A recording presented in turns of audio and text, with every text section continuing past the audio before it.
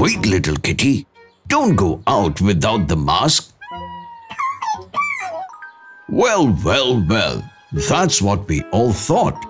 But unfortunately, a new variant known as Omicron has popped up and has become a matter of concern for the world. That's what we will learn today.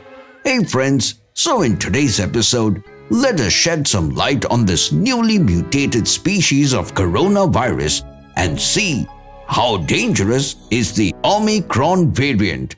Zoom in. We already learned so much about coronavirus in our previous videos. So I request you, please check the same to have in-depth knowledge about this subject.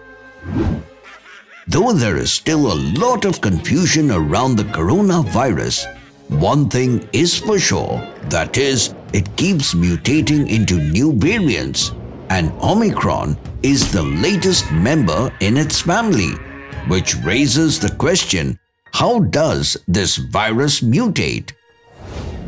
Well, that happens when an existing virus exchanges its genes with some wild flu virus present in pigs or other hmm. poultry animals in the process called antigenic shift. This brings a dramatic mutation in the virus, making them stronger with unpredictable behavior. And as the animal's body isn't prepared to tackle this hmm. new version of the virus, it makes it hard for the animal's immune system to detect and fight these unique species. And soon they begin to take over its body, causing symptoms like fever, inflamed eyes, and running snouts. And once a human comes in contact with these poor infected animals, the virus quickly takes this opportunity and jumps into a new host and we could only assume that something similar must have happened in the case of the Omicron variant 2. This variant was first reported to WHO, who, from South Africa on 24th November 2021. And since the finding of this mutated version of the corona, there has been a steep increase in the number of COVID patients in almost all provinces of South Africa. Due to this, on 26 November 2021, WHO designated Omicron as a variant of concern.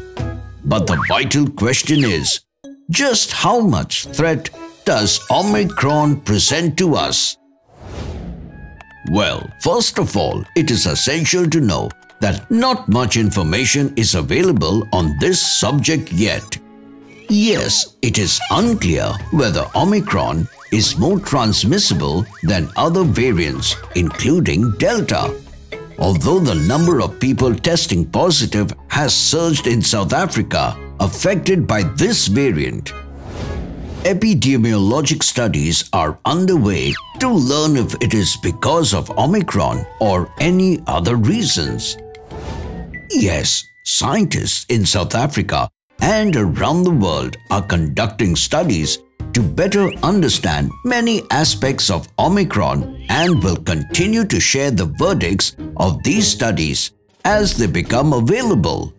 So, until we receive any concrete evidence regarding its severity, we must abstain from spreading any information that could lead to a state of mass panic. But remember my friends, all variants of COVID-19 including the Delta variant that is dominant worldwide can cause severe disease or can be fatal, particularly for the most vulnerable people.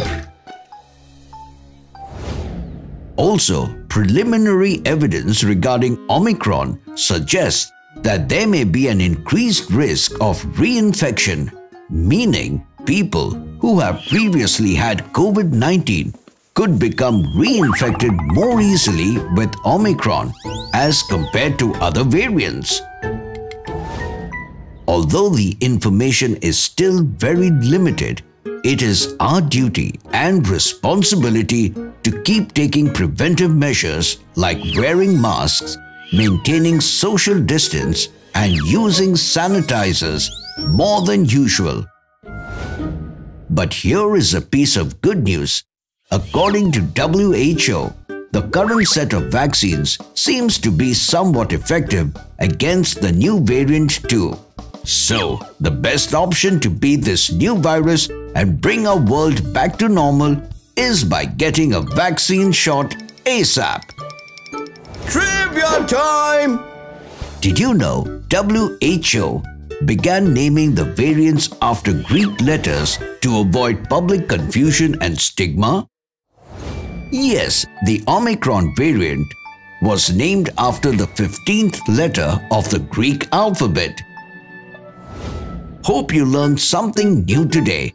Until next time, it's me, Dr. Binocs, zooming out.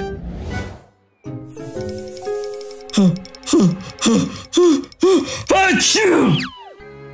Huh, never mind.